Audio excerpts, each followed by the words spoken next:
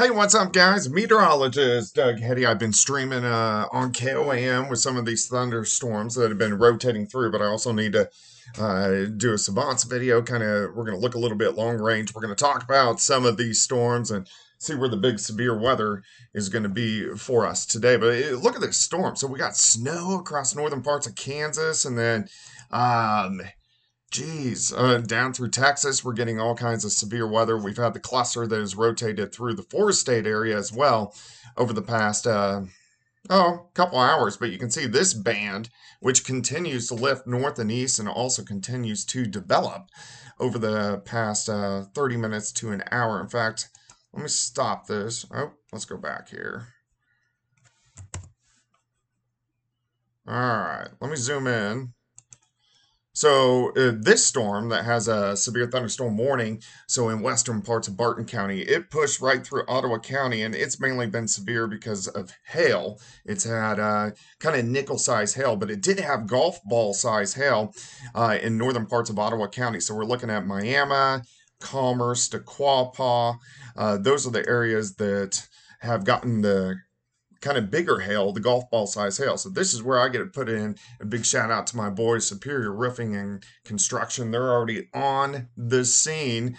Uh, they deal with all types of insurances, but they're on top of it right now. So if you did get hail in Miami Commerce or Quapaw, give those boys a call and they will hook you up. But these storms are going to continue to push off toward the north and to the east. Uh, we're going to just have periods of showers and thunderstorms as we go through the day. Now, let's look down farther south. Here's where the big severe weather is going to be. So, this is going to be south of Oklahoma City, Lawton, Wichita Falls, and all this is going to push into southeastern parts of Oklahoma. So let's go through time, then we're going to do a little bit of long range forecasting. All right, so you can see the cluster in central Missouri. So this is 4 p.m., but look at the storms really getting going southeastern parts of Oklahoma. These are going to push right back into the Joplin Metro, Springfield, Northwest Arkansas is just going to get hammered with heavy, heavy amounts of rain as we go through the afternoon into the evening hours. All right, heavy amounts of rain continue southern parts of Missouri into northwest Arkansas as we go through the evening hours. And then the backside of this system starts to develop. So you can see how it flares up.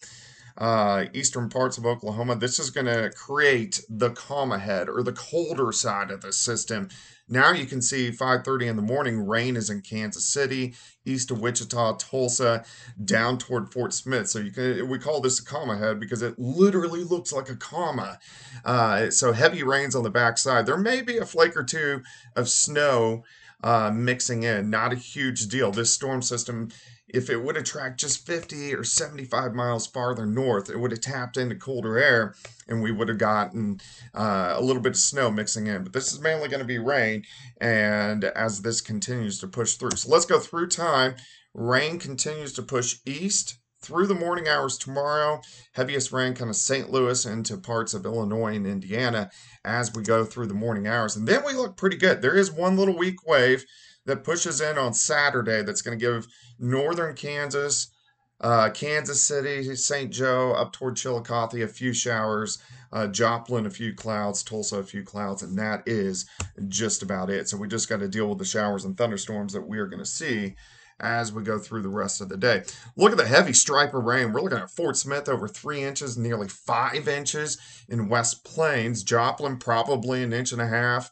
Springfield, almost two inches of rain, and then it really cuts off once you push off toward the east or the west with the storm system. All right. Boy, I butchered that, didn't I? it's supposed to say week, weekend wave. Act like I did not misspell that. All right, so we have another storm system next Wednesday and Thursday. That could be rain over to snow. Showers and thunderstorms again next weekend. So, uh, not talking about in two days, but next weekend. We have storms on the 15th and 16th, the 23rd and the 24th, and then two waves will affect us from the 28th through the 31st. So, it's going to be a pretty active month of March. All right, let's let's keep going. April 5th, 6th, 7th. These are severe weather events. So now um, I'm mainly showing you the big severe weather events that uh, really stick out to me. April 13th and 14th, April 21st and 22nd, also the 25th. April's going to be pretty active. April 28th, May 1st, May 4th, May 12th, and 13th. And then we have two events, the 17th and 18th, and then the 19th through the 21st, 25th, and 27th. These all could be severe. So it, it gets uh, kind of crazy as we go through the next uh, couple months. Uh, today is March 2nd. So meteorologically, it's already spring, even though we may get a little bit of snow. Um, in our next coming systems over the next couple weeks. But want to keep you guys updated, let you know what's going on. Of course, if you have any comments or questions, leave them in the comment section below and we will chat soon.